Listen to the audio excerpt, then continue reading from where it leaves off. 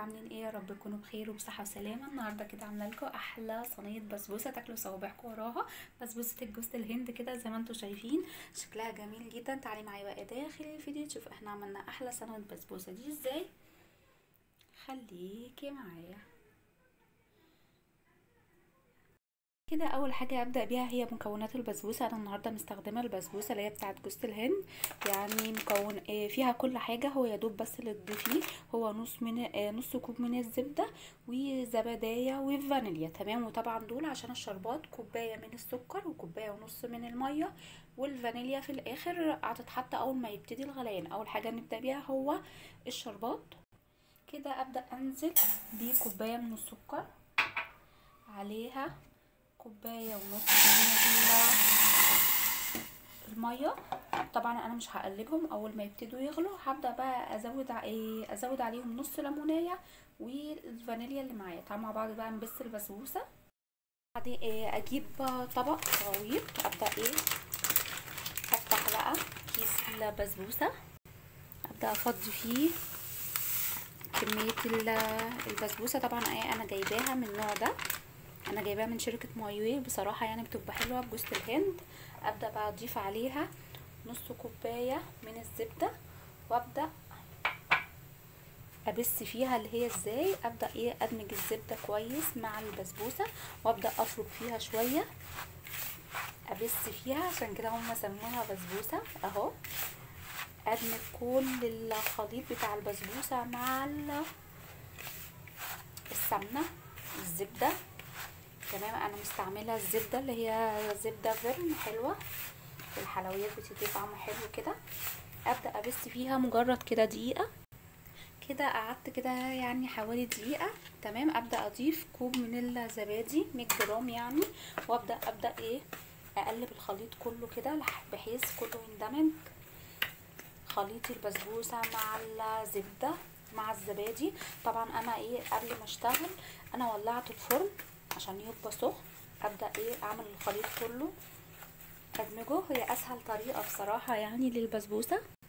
كده خلصت كل الخليط ده. أبدأ أجيب صينية متوسطة الحجم أبدأ إيه؟ ادهن فيها كده بالفرشة. زبدة أو سمنة. أهو من جناب. وأبدأ أوزع فيها بقى كل الخليط اللي عندي. تمام. كده. ابدا بقى إيه أوزعه في سمك الصينية. كل ده الشربات شغال معايا على النار وطبعا الفرن شغال معايا. كده أنا وزعت البسبوسة زي ما أنتم شايفين كده تمام؟ ممكن لو انت عندك سوداني عندك لوز عندك أي حاجة تزوقيها بس أنا هستنى أزوقها بالجوز الهند وال وال فستق تمام؟ بس أول ما تطلع أبدأ بقى أحطها على الرف اللي في النص على درجة حرارة متوسطة لمدة 25 دقيقة وأبدأ أطلعها معاكم. كده البسبوسة شايفين وشها حلو. إزاي؟ أبدأ بقى إيه؟ حطيت على الشربات الفانيليا أول ما طلع. بصوا بقى وهو سخن كده الشربات سخن والبسبوسة سخنة بحيث اللي هي تشربها. أهو أهم حاجة الاتنين يبقوا سخنين. شايفين؟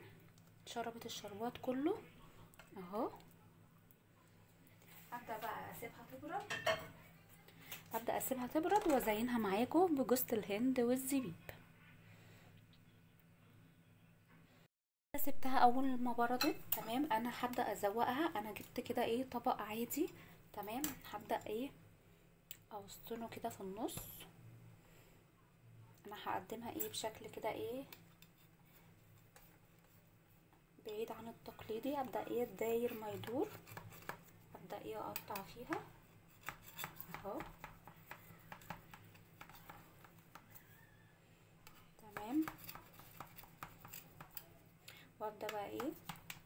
اقطعها قطع صغيرة كده.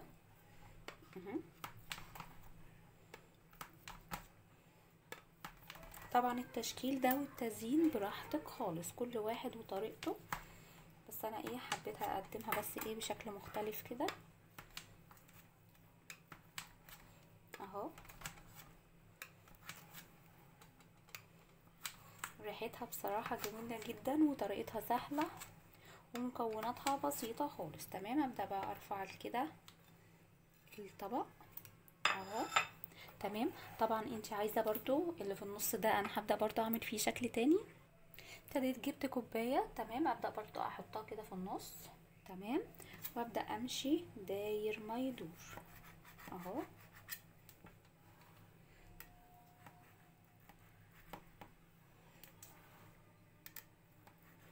أو أي شكل بقى زي ما انتي حابة. تمام؟ أبدأ برضو إيه أقطع برضو. دي كده. قطع. يعني على قد ما تقدري تخليها متساوية. أهو. طبعا أنا معايا جوز الهند ومعايا الفستق. أبدأ بقى إيه؟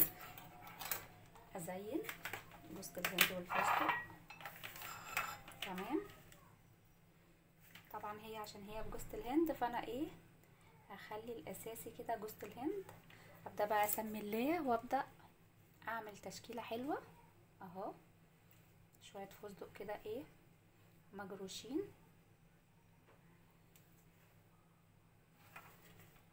مهم.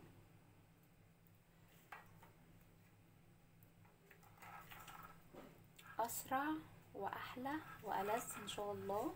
بسبوسة ممكن تاكليها طريقه سهلة ومكونات بسيطة. أهو. شكلها جميل. طبعا بقى إيه؟ شوية بقى إيه؟ جوز الهند كده في الطروف. أعمل واحدة وأسيب واحدة.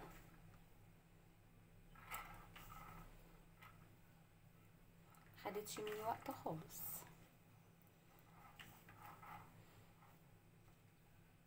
ان شاء الله تعجبك. بصوا شايفين شكلها؟ طبعا عايزين تحطوا بقى إيه هنا برضو؟ شوية كده من ال الفستق. أهو برضو. تمام.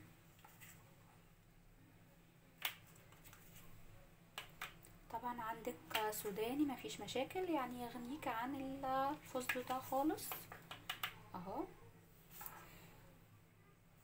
في نهاية الفيديو بقى لو البسبوسة عجبتكم الطريقة سهلة وبسيطة والمكونات مفيش أسهل من كده إن شاء الله إن شاء الله تجربوها وهتعجبكم كتير.